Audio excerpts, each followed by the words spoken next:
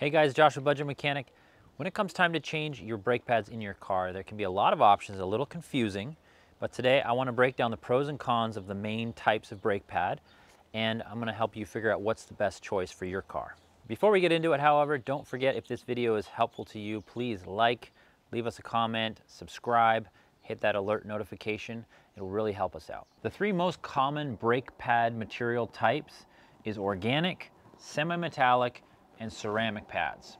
Now, of course, there are other types besides these three, but they're mainly for specialty applications. So unless you're racing or driving big trucks, these three categories are gonna be what you're looking at. The first brake pad type is organic.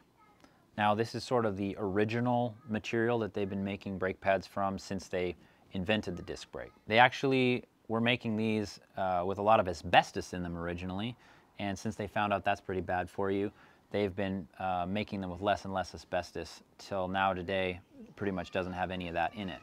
The one real advantage of an organic brake pad is going to be the cost. They just cost less. Now on the other hand, the cons are they don't last very long. They wear out pretty fast.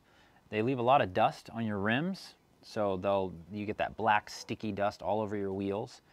And they don't handle overheating really well. They tend to break down, start cracking, um, falling apart under heavy braking.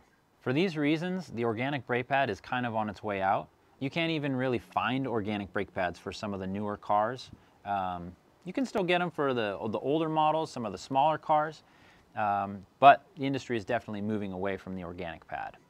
The next type of brake pad that you can get is your semi-metallic.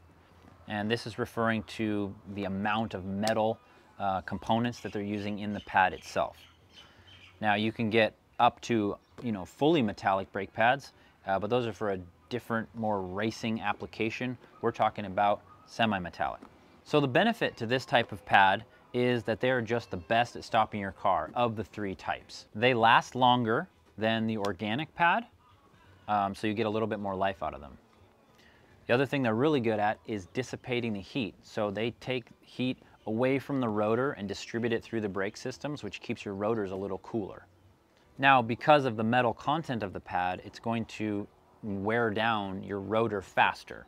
And the higher the percentage of metal in your pad, the faster it's going to wear out your rotor. Another thing with these pads, they tend to be a little bit louder. They squeak more and they can also be dustier. So maybe not as much as your organic pads were, but they will leave dust on your wheels. Moving on, your third option for brake pads is going to be your ceramics. Now instead of relying on a lot of chunks of metal in there to slow you down, it's going to have ceramic material. Now the main benefit to the ceramic material is it's just going to last way longer than both the semi-metallics or the organic pads.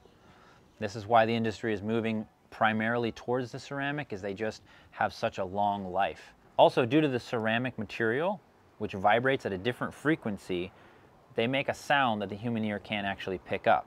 So you actually get a brake pad that's quieter than the other types. Ceramic pads, unlike semi-metallic, won't wear down your rotors as fast because that ceramic material doesn't wear away metal as fast. Now there are some downsides to ceramic pads. The first of which is going to be your cost. They're the most expensive type of pad you can get. However, for reasons I will get into in a little bit, they still might be a good option for a budget mechanic.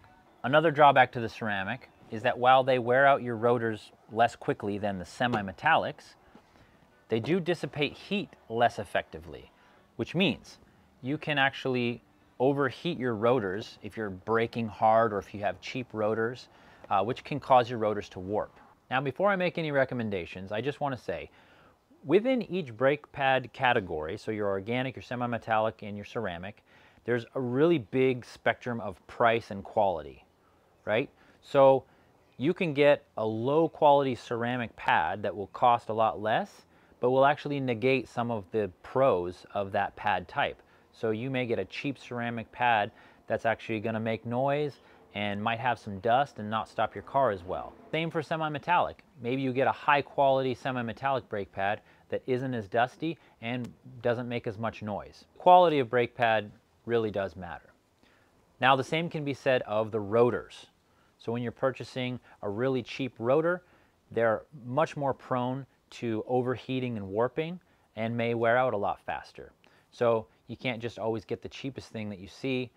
might be worth spending a couple extra bucks and getting the higher quality rotor as well. So what does all this mean for us budget mechanics? I think that for the majority of drivers, they're gonna get the most bang for their buck out of a ceramic brake pad. That ceramic brake pad is gonna be the most cost effective overall, even though it's a little bit more expensive to buy on the front end.